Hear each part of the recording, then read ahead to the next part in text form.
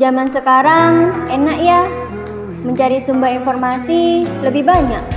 Misalnya tuh kayak ada berita terbaru, sudah pasti ada notif di handphone kita.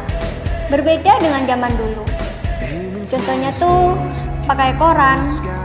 Koran nunggu kabar terbaru pun itu harus nunggu dua minggu kemudian gitu loh.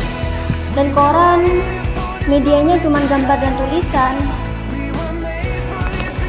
Teknologi ada dampak positif dan negatifnya.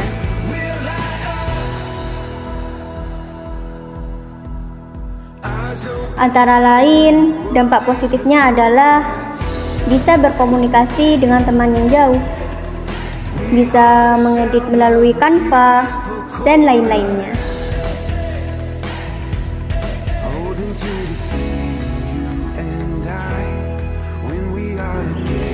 Sedangkan dampak negatifnya adalah para remaja menghabiskan waktunya dengan main Instagram,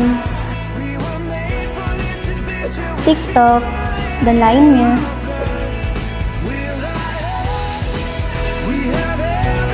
Seiring perkembangan zaman, perkembangan teknologi informasi dapat memudahkan manusia untuk beraktivitas, melihat berita, dan mencari berbagai informasi yang beredar di dunia maya.